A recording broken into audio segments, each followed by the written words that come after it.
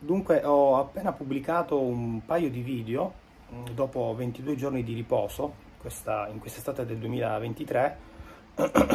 proprio per testare il livello di eh, performance anche interpretativo eh, nonostante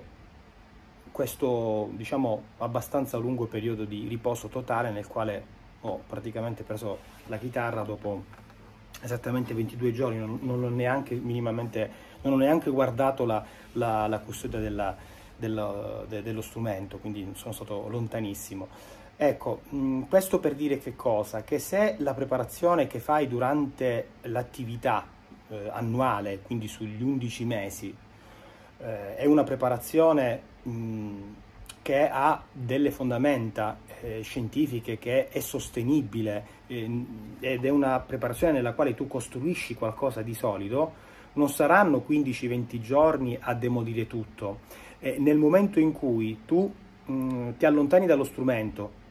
due giorni, tre giorni, una settimana, due settimane, tre settimane, e vedi che crolla tutto, vedi che il, il, tuo livello di concentrazione, di controllo interpretativo e tecnico cade completamente, eh, vuol dire che la tua preparazione non è, solida, non è solida, il tuo sistema neuromuscolare probabilmente non, non è mh, cresciuto di livello mh, per controllare eh, tutti quei parametri interpretativi e tecnici di cui il musicista deve assolutamente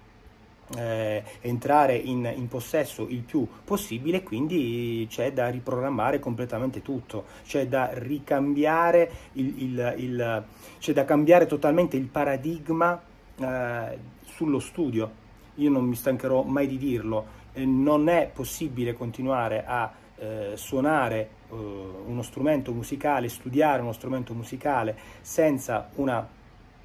un minimo di preparazione scientifica su, quelle, su quella che riguarda la performance, eh, diciamo, eh, su quelli che sono i, i principi della scienza motoria. Non dico che uno deve essere un esperto di scienza motoria,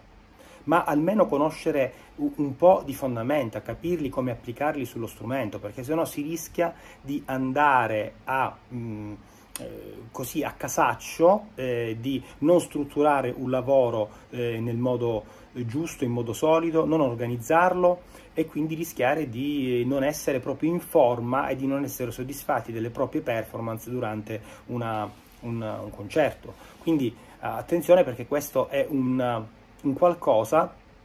che noi potremmo definire eh, come una sorta di emergenza eh, sociale legata al mondo dell'interpretazione del concertismo, perché sempre più spesso ci sono persone che quando suonano in pubblico eh, rendono molto di meno rispetto a quello che fanno quando sono da soli nella, nella loro zona comfort. Quindi eh, fate molta attenzione mh, all'inizio di questo nuovo anno diciamo, accademico a, a mh, diciamo, organizzare e pianificare bene la vostra settimana di studio, il vostro mese di studio, le attività esterne mh, di miglioramento della vostra capacità psicofisica, eh, perché sennò rischiate eh, di ehm, eh, avere delle brutte sorprese nel momento in cui vi allontanate per qualche giorno dallo strumento, poi ritornate che sembra quasi che non sapete fare neanche due note. Eh, quindi auguro a tutti quanti voi un buon ritorno allo studio e speriamo che quest'anno sia sempre, sempre meglio per tutti. Grazie.